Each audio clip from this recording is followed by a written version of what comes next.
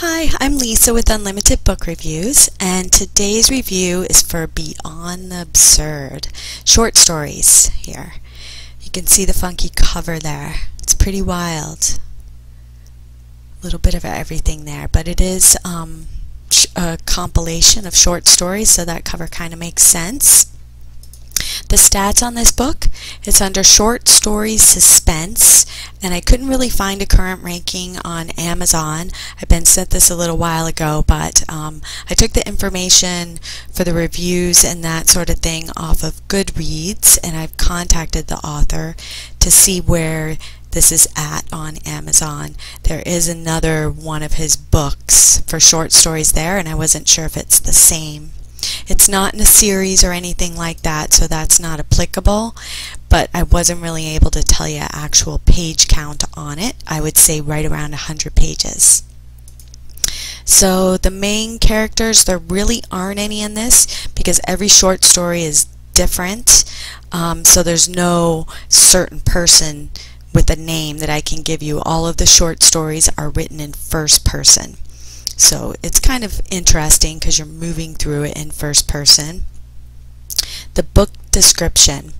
Beyond the Absurd is a book for everyone who is interested in deep soul horizons and grotesque abyss of the absurd. This book contains very short stories in genres absurd, dystopia, fantasy, fiction, post-apocalyptic, and grotesque. In my work, there is strange viewpoint about human existence, imagination, and mind. I try to describe absurdity of the world and life and also to find some deep invisible connections in the flow of time. So it's pretty funky. So the storyline in this book, very original, definitely. There is some suspense. You're kind of waiting to see what's happening. And then the humor, there's a little bit in there. Drama and conflict, yes. Mystery, yes. And a little bit of action, definitely. So it is very good. If you're into short stories that are kind of obscure, this is definitely your author, Alexandar Tomov, which I probably butchered his name. I would say it was an intermediate style as far as the writing goes, and I think that does have some of the translation difficulties because I don't believe they were originally written in English.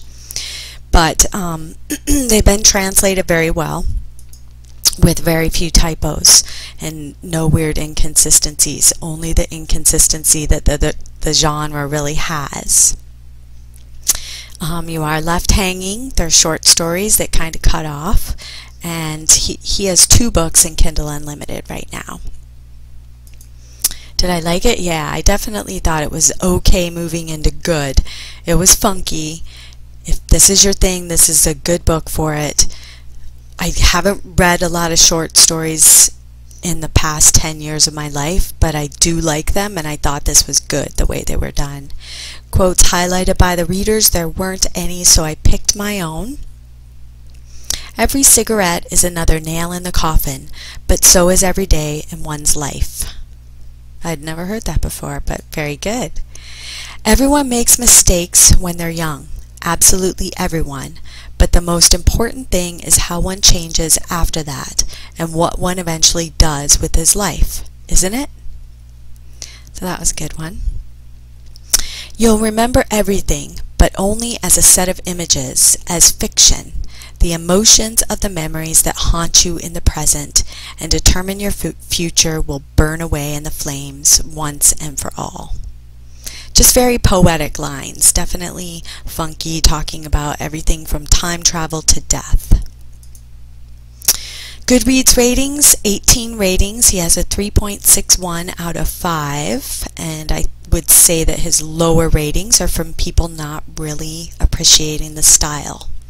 Kelly says, exhibits an unapologetic fascination with depth and explores the ways in which people attempt to control, negotiate with, deny, and accept what is most often considered the evil side of human nature.